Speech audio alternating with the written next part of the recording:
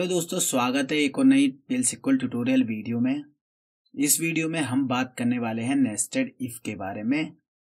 उससे पहले अगर आपने हमारी previous video if then else if videos नहीं देखी है और इफ़ स्टेटमेंट से रिलेटेड वीडियो नहीं देखी है तो आप उसको ज़रूर देखें ताकि आपको ये वीडियो समझने में आसानी हो सके। इफ़ से रिलेटेड जो भी वीडियोस हैं उनके जो लिंक है वो मैं डिस्क्रिप्शन बॉक्स में आप लोगों के साथ शेयर कर दूँगा और आई बटन पे आप क्लिक करके उन वीडियोस को देख सकते हैं। सो आपका ना ज़्यादा टाइम वेस्ट करते बढ़ते हैं आगे इस वीडियो में और देखते हैं आज के हमारे लर्निंग टॉपिक्स जो कि हम इस वीडियो में कवर करने वाले हैं। सो so, जैसे नेस्टेड इफ़ स्टेटमेंट के बारे में देन उसके बाद हम देखेंगे इसके सिंटेक्स को और एक्सप्लेन करेंगे एग्ज़ाम्पल को। तो नेस्टेड इफ़ बेसिकली होता क्या है? नेस्टेड इफ़ आपका क्या होता है? कंडीशनल स्टेटमेंट के अंदर आता है, ठीक है? और मल्टीपल बुलियन एक्सप्रेशन को एक एक्सप्रेशन को एग्जीक्यूट करने के बाद आप इंटरनल और भी बुलियन एक्सप्रेशन को आप एग्जीक्यूट कर सकते हो, ठीक है? तो उसी को हम क्या कर सकते हैं? यू कैन यूज़ वन यहाँ पे मैं हाईलाइट कर देता हूँ।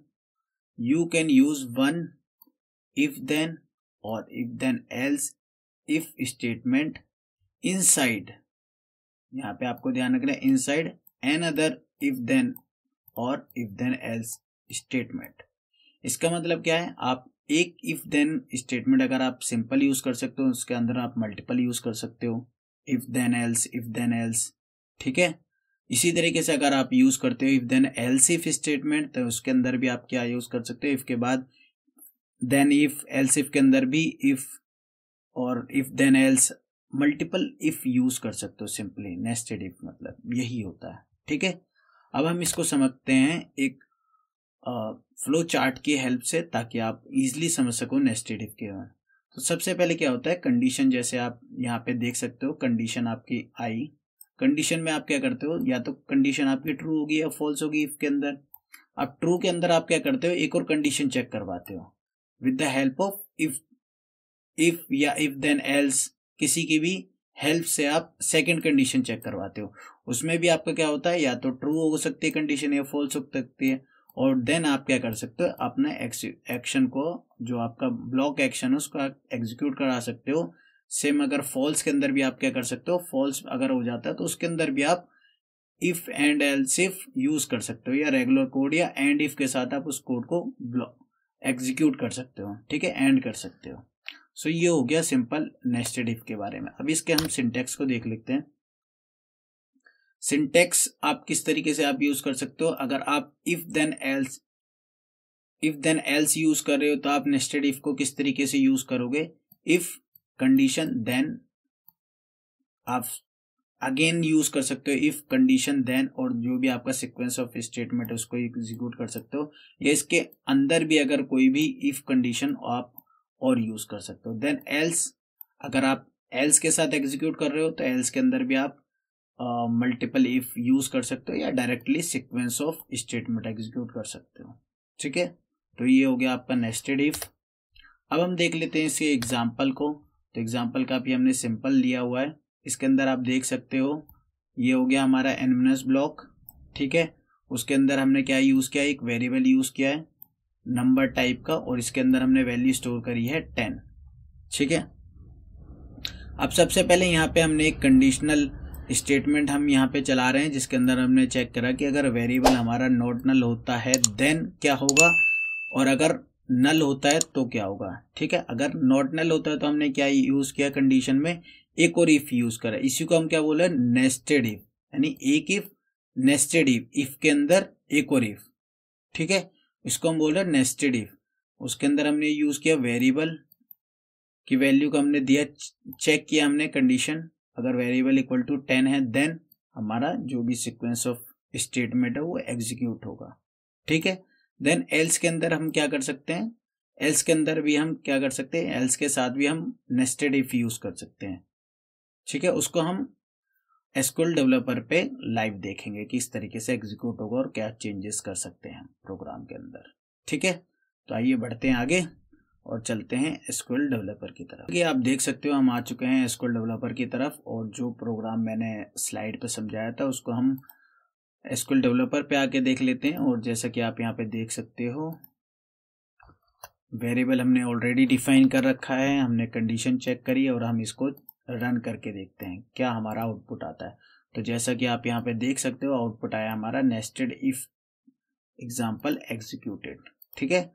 क्यों आया? क्योंकि हमने चेक किया वेरिएबल इज़ नॉट नल तो नॉट नल नहीं है हमारा वेरिएबल हम सेकंड इफ़ पे आए इफ़ पे हमने चेक करा वेरिएबल इक्वल टू टेन है यस yes, टेन है। और हमारा जो सीक्वेंस ऑफ़ स्टेटमेंट है, वो एग्जीक्यूट होगा। ठीक है? अब हम एक और सेकंड कंडीशन ले लेते हैं और इसको हम नए टैब में ओपन कर लेते हैं। ठीक है? और सेम प्रोग्राम को हम यूज़ करेंगे तो इसको हम यहाँ पे ले आते हैं। ठीक है? तो अब यहाँ पे क्या कर सकते हैं हम? हम और भी वेरिएबल्स को यूज़ कर सकते हैं। ठीक है? हम एक और वेरिएबल डिफाइन कर लेते हैं। Variable two. ठीक है, इसके अंदर वैल्यू दे देते हैं ट्वेंटी। ठीक है, अब आप यहाँ पे क्या कर सकते हो इफ़ वेरिएबल टेन है देन हम क्या चेक कर सकते हैं, एक बार और हम चेक करेंगे, अगर इफ़ वेरिएबल टू की वैल्यू अगर ट्वेंटी होती है देन हमारा ये प्रिंट होगा अदरवाइज़ हमारा एंड इफ़ हो जाएगा। ठीक है नेस्टेड इफ़ का एक और एग्जांपल हो गया, इसको हम चलाते हैं। ठीक है नेस्टेड इफ़ एग्जांपल एग्जीक्यूटेड क्योंकि सारी कंडीशन हमारी क्या हुई? ट्रू हमें मिलती है तो सारी कंडीशन हमारी रन करा है। इसको हम कर देते हैं फॉर्मेट में, ताकि इजीली समझ में आ सके। इफ़ इसका स्टार्ट हो not null then equal to equal to then execute क्या हम एल्स के अंदर भी नेस्टेड इफ़ यूज़ कर सकते हैं? यस हम एल्स के अंदर भी नेस्टेड इफ़ यूज़ कर सकते हैं। किस तरीके से यूज़ कर सकते हैं? अब, हमने वेरिएबल को वैल्यू असाइन कर दी है नल ठीक है? ध्यान से देखना इसको हमने वैल्यू असाइन कर दिया नल और इसको भी हमने असाइन कर दिया नल सेकेंड वेरिएबल को। ठीक है?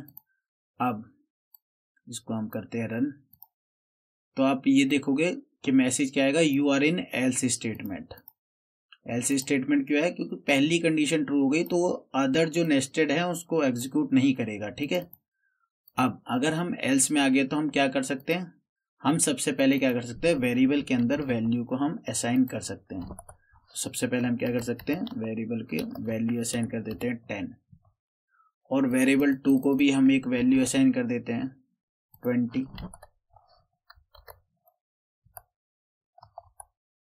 ठीक है? अब हम क्या कर सकते हैं? अब यहाँ पे हम यूज़ कर सकते हैं if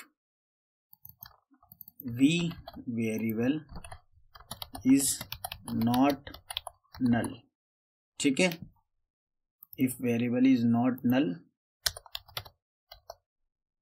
and if और यहाँ पे आपको देना है देन ठीक है? एंड इफ़ हो गया हमारा।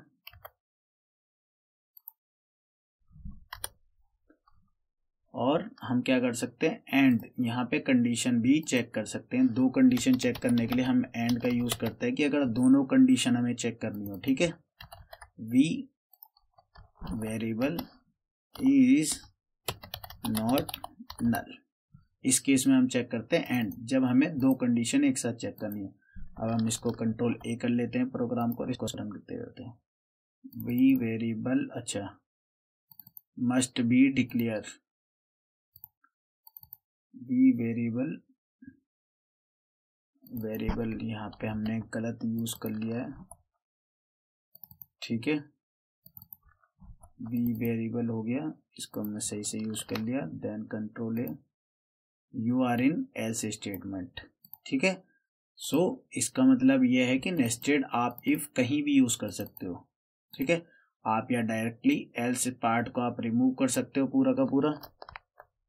इस तरीके से भी आप कर चल सकते हो या एल्स इफ़ के साथ कर सकते हो तो आप किसी भी इफ़ स्टेटमेंट के साथ यूज़ कर सकते हो नेस्टेड इफ़ को। ठीक है? Based on your requirement so I hope आपको ये वीडियो पसंद आई हो। अगर आपको ये वीडियो पसंद आई हो तो वीडियो को लाइक कर दें। और आप चैनल को सब्सक्राइब कर सकते हो अगर आपको पी एस इक्वल की वीडियो पसंद आती है तो। और अगर आपको कोई भी क्वेरी इस वीडियो से रिलेटेड है तो आप कमेंट सेक्शन में ड्रॉप कर सकते हो। हम आपको उसका सॉल्यूशन ज़रूर प्रोवाइड करेंगे। तब तक के लिए बाय इस